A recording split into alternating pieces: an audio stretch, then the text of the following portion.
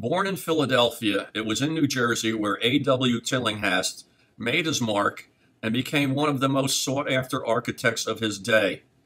In 1916, at age 40, he moved to New Jersey and established an office in Harrington Park.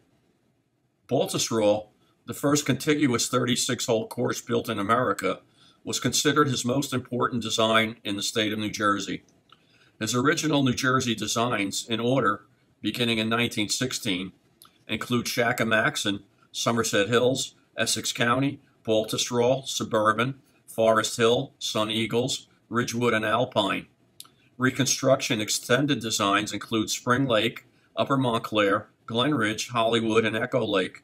He also did consulting exams on Pine Valley, Hollywood, Deal, Cranford, and Trenton.